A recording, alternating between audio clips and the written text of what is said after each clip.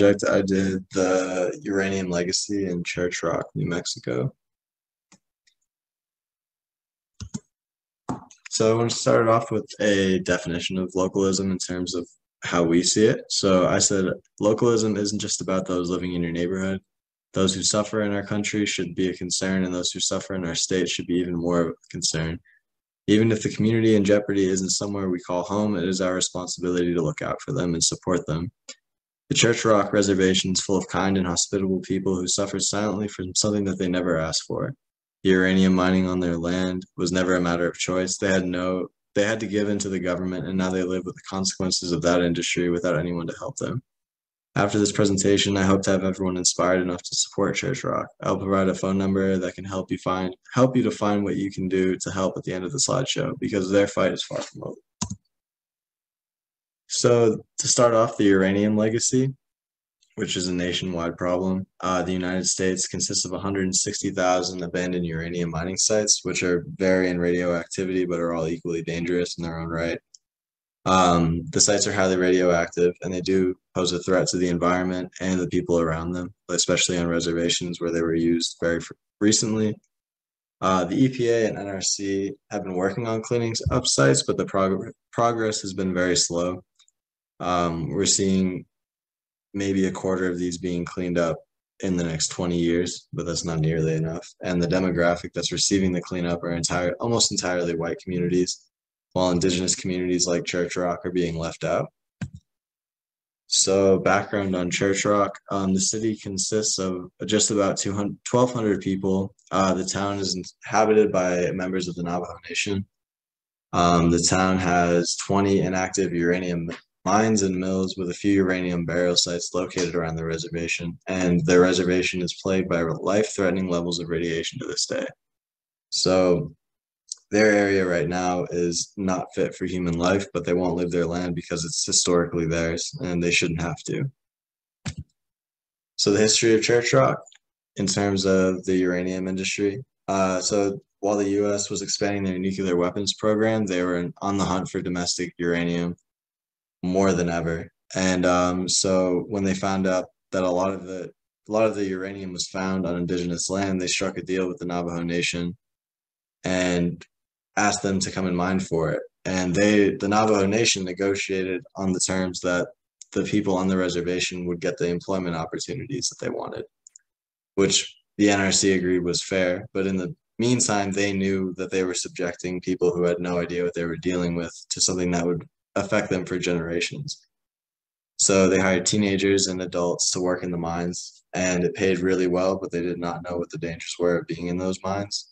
So while they were down there for decades, they mined it with no protective equipment and they drank water from the ground while they worked 12 plus hour days in the mines.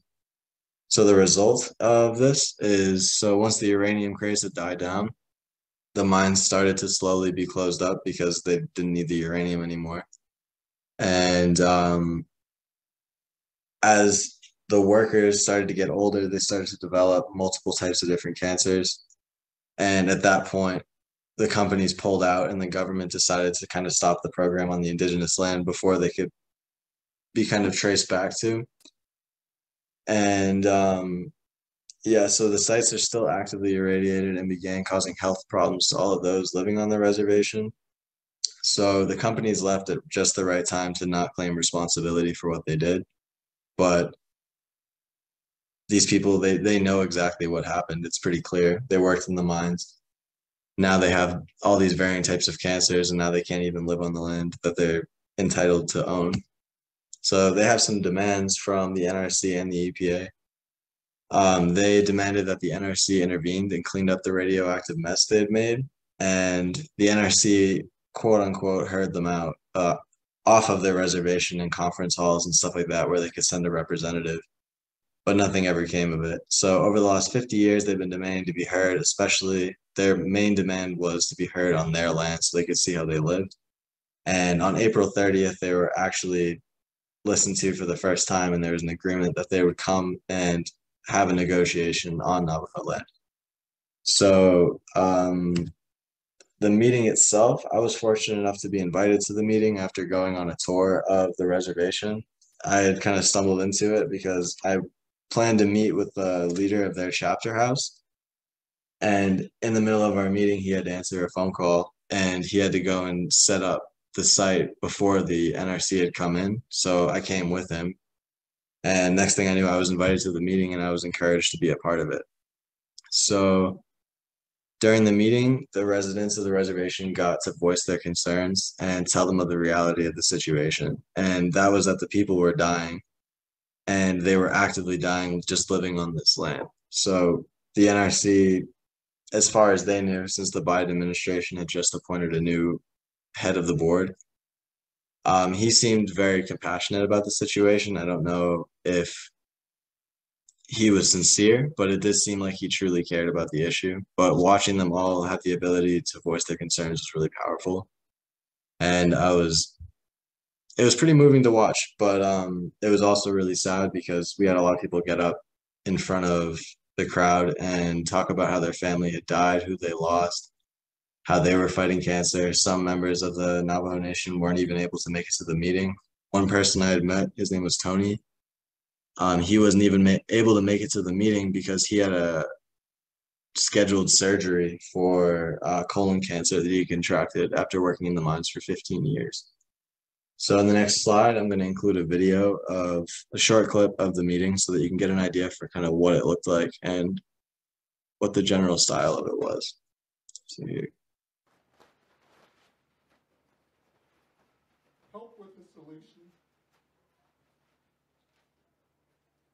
Afford excuses.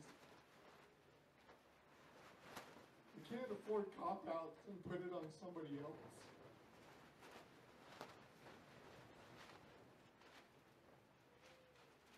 It is very personal to all of us. Thank you.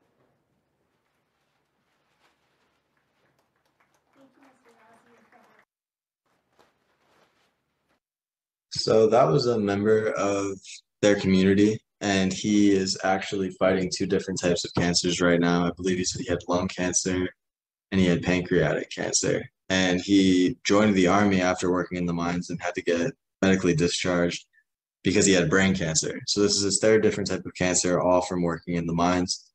And he's been a advocate for the removal of uranium waste or nuclear waste from the reservation for many years now.